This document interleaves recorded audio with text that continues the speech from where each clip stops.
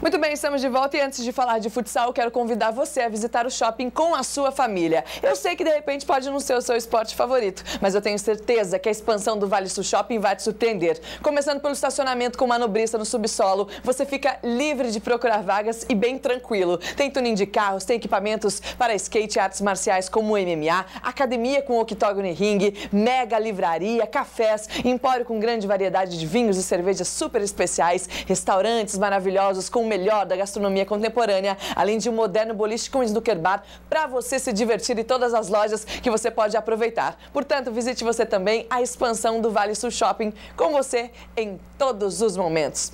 Muito bem, vamos falar de futsal então, porque afinal de contas, na próxima semana começa a Liga Paulista de Futsal, que pela primeira vez terá a participação de quatro equipes da nossa região: o São José Futsal, o Taubaté, o Jacareí e também o Ioca de Guaratinguetá, que aliás será o primeiro time do Vale a estrear na competição já na próxima terça-feira. E para falar sobre a preparação da equipe de Guaratinguetá e também é, sobre o time, nós recebemos aqui o nosso convidado de hoje, Rafael Cota, está aí do seu lado, não é, Carmen? É verdade. Preparador físico, fisiologista do Ioca, já nos trouxe aqui a nova camisa do Ioca para a temporada 2014, número 10, deve ser minha, né? Porque craque só usa 10. E o Rafael está aqui para falar um pouquinho da história desse novo time que está brilhando. O ano passado fez um belo ano e agora vai disputar a principal divisão do futsal de São Paulo. Tudo bem, Rafael? Prazer recebê-lo aqui. Como vai? Tá tudo bom? Tudo bem, é, é, é, Você já estava lá no time? Não, não. Eu fui contratado para essa nova temporada. No ano passado eu não estava participando, não. É, mas a, a, sua carreira começou onde? Você veio de onde? Eu comecei no... Eu sou de Guaratinguetá. Eu comecei no, no Guaratinguetá mesmo. Trabalhei por nove anos no Guaratinguetá. E aí passei por vários clubes. Uhum. Eu trabalhei mais com futebol de campo, futebol né? De Tanto campo. como fisiologista, preparador físico. Eu estava agora no São Bernardo como analista de desempenho na Copa do Brasil Série 1 do ano passado. Aí esse ano recebi a proposta do, do Ioca e vendo o projeto interessante deles, eu resolvi ficar em casa. Assim. O pós deve ser boa, porque uh. no São Bernardo o pessoal tá ganhando bem. O Oliveira, treinador de goleiro lá, com ele. Eu morava aqui, junto é. com o Oliveira. Oliveira, gente boa. São Bernardo tá que pagando mora. bem, então, ó, rapaz, os caras tão... É, a gente sabe que o Ioca é, é, foi um projeto montado por amigos que gostam de futsal e acabaram formando esse time do Ioca Futsal de Guaratinguetá. E aí foi dando certo. E o ano passado eles foram muito bem no, no, no Campeonato Paulista Metropolitano da Série A2 e depois também foram no, no Paulista da Série A2. Agora bem também agora vão disputar a liga. Como é que você chegou agora e, e você encontrou a equipe na parte física? É, na verdade a gente está tentando mudar um pouco a cultura do, do, do, dos atletas, dos próprios, dos próprios atletas, porque o futebol de salão ele tem várias diferenças com relação ao futebol de campo. Uhum. Então a gente está tentando mudar é, com relação à profissionalização do atleta, aquela cultura de treinamento, aquela disciplina, é, alimentação, é, parte de suplementação, parte de descanso, é, relação com o departamento médico, tudo isso a gente está tentando é, a mudar. A pegação no pé dos é, jogadores. agora, agora até, o, até o ano passado o time era mais um time amador. O pessoal treinava de manhã, trabalhava à tarde, um período agora não. O pessoal está se. Você conseguiu fazer que todo mundo é, trabalhe é, o tempo integral, é isso? Sim, agora a gente está treinando basicamente. É, não são todos os dias, uhum. mas é, todos os dias, de manhã e de tarde. Lógico que tem uma, um descanso claro. ou outro dentro disso aí. Mas Porque para jogar a Liga Paulista tem que estar muito bem. É né? um dos campeonatos mais não, é difíceis, é difícil. se não for o mais difícil do país. Depois da, da, da Liga, Liga, Nacional, Nacional e do, do, dos torneios lá uhum. da, da, do sul do país. E esse ano, Pedro, veio o um novo time de Sorocaba do Falcão, você tem Corinthians, Palmeiras, tem tantos times aí que prometem, né? Exatamente. Inclusive, a gente já estreia na terça-feira contra o Indaiatuba, que é um time que já vem jogando a, uhum. a, a, Liga há um tempo aí.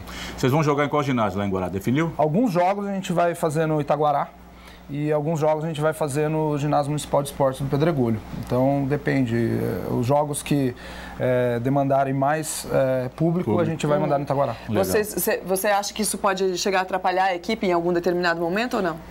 Por Olha, causa da, da quadra, é lógico que de quadra? A, gente, a dimensão é bem semelhante, uhum. é, é, padrão da, da Liga Paulista quadra ser 40 por 20, é, do, do Itaguará é um pouquinho menor mas para a gente não muda, porque a gente também tem que pensar no lado da torcida, né? Porque você receber um Brasil Quirim, que é o time do Falcão, uhum. em Guaratinguetá, e, e, não poder atender ao público com qualidade, fica ruim. Né? Aí fica difícil. O, né? o, Rafael, em termos, vocês já estão treinando há mais de um mês. É, e em tá termos de, re, de, reforços, é, mudou muito o grupo? Chegou alguém conhecido? Não, o Ioca manteve uma base. Manteve uma base. O alemão do, continua do como técnico? O Wesley Zabo, o alemão, continua como treinador.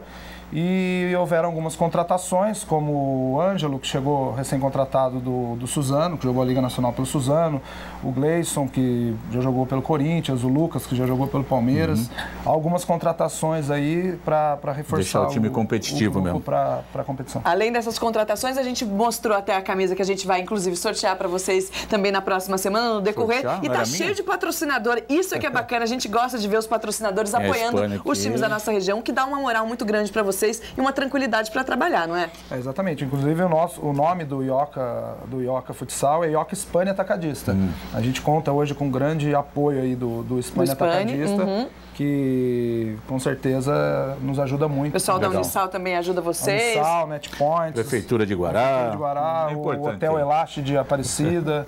é, são vários patrocinadores, eu prefiro dizer assim, são vários, é, várias pessoas acreditando no projeto, uhum. né? Isso que é importante. O que é muito bom. É. Tá certo. Rafael, muito obrigado pela sua presença aqui. Um excelente campeonato para vocês, para que a torcida de Guaratinguetá também apoie o time, porque é muito importante. Quando tem torcida é muito mais empolgante, é praticamente um jogador também dentro de quadra, né, Rafael? Sim.